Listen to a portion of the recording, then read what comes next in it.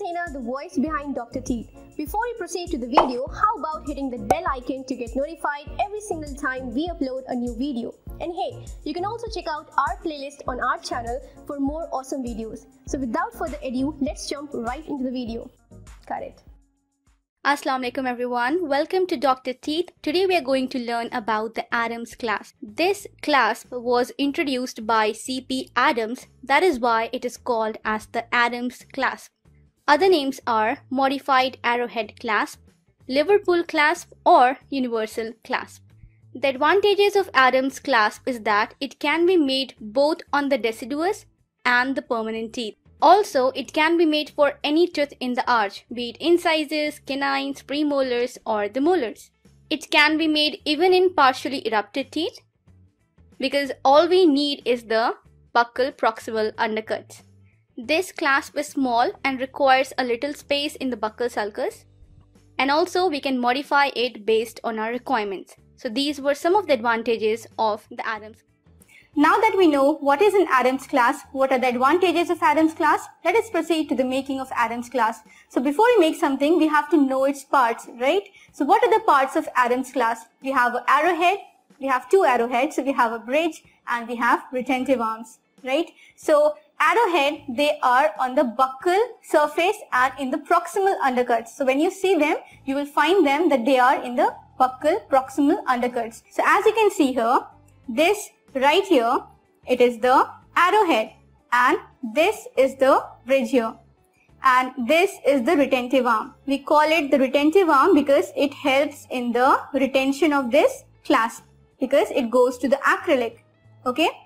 Now these arrowheads they will go in the bucco-proximal undercut. So you can see they are going in the proximal undercut and this bridge right here it should be at an angle of 45 degrees to the tooth surface and when you look it from the sides, it should be at the middle third of the tooth.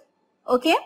Now these are the retentive arms and at the ends of the arm you can see we have tags. So these are called the retentive tags. So they help in securing of the Adams clasp to the acrylic. So these are the parts of the Adams clasp. Now let's get to make it. Okay. Okay. So here you can see I have already done a marking here. But I will be marking it again just to show you all. A backup plan if I mess it up. Okay, so let us suppose this is the tooth on which we have to make the Adams clasp. So we will make two vertical lines. One will be at the mesial surface of this tooth and one vertical line will be at the distal surface of this tooth. Then we will mark this horizontal line which will correspond to the gingival margin of this tooth okay so we have these vertical lines and a horizontal line. Now what we will do we will make two more lines that will bisect these. So we will make two more lines that will bisect these. So as you can see this will go at a point on the teeth right? So this point right here where this line will meet eventually this is the point where we will have our arrowheads. So the arrowhead will engage at these points and roughly it is around two-third of the entire mesodistal width of the teeth. Okay. So here we can see it clearly that the line which is bisecting it is going towards the teeth and this point and this point will be the point where our arrowhead will be there okay? Uh, so first we'll take a straight wire. So we'll take a straight wire of 0.7 mm diameter and it could be around 4 inches or 3 inches. You know I would suggest take little bigger wire first when you're starting off because uh, it's better to have little extra then we can cut it off rather than having smaller and make it all over again. Okay? So once we have this what we're gonna do we are going to have a rough estimate of the distance between this point and this point, the bisecting point, okay? And this will be the size of our bridge, okay? So when you're just beginning with the Adams, you can just mark it off so that we know where do we actually have to make the bend. We are going to make two 90 degree bends Okay, so hold the wire like this and then we are going to make our first 90 degree bend. Okay, so this is the 90 degree bend. Now you can see we are having a L shape here. Okay. Now we are going to make another 90 degree bend.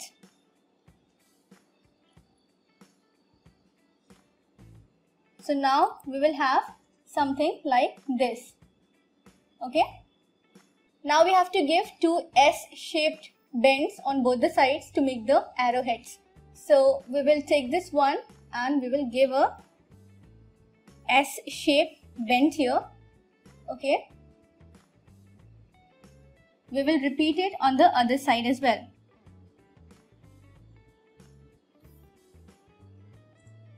So we will have something like this.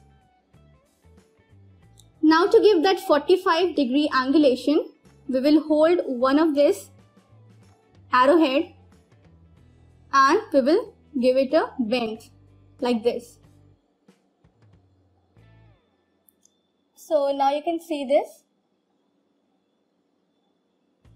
Okay, and we will repeat this step on the other side as well. So you can see we got that 45 degree bend, right? Now place it on the cast to check it, okay? So everything seems fine now. You can see we have got that 45 degree bend also and the bridge is near the middle third of the tooth, okay? And these arrowheads, they are at the proximal ends. So we can see that our arrowheads are at the area where we got our bisection point on both the sides.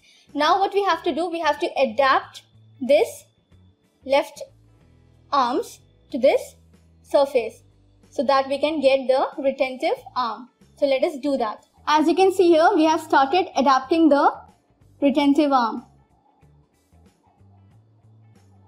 Okay. Now you can always do markings on the wire so that you know where you have to make the next bend. And make sure you keep on checking while adapting so that we adapt perfectly.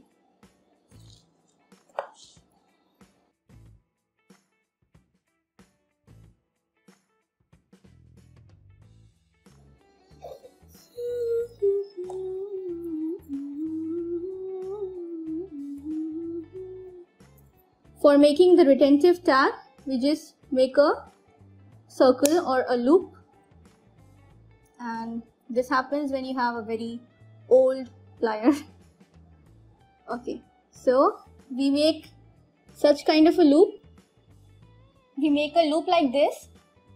And then we make another bend here. Here at this wire. So we get a key shape okay and I'll show you why making it So this is how the retentive tag should look like. Okay. Now we will adapt the other arm in the same way. We have adapted the occlusal surface. Now we are going to adapt it on the lingual side.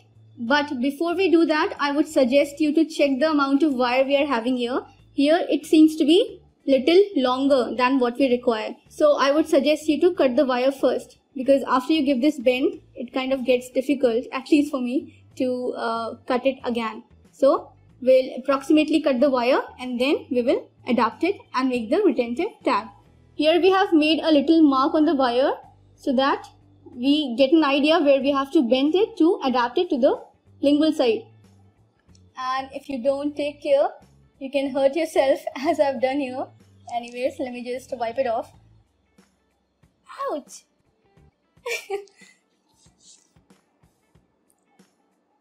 okay, so we have adapted the other retentive arm also. Now we are going to make the retentive tag.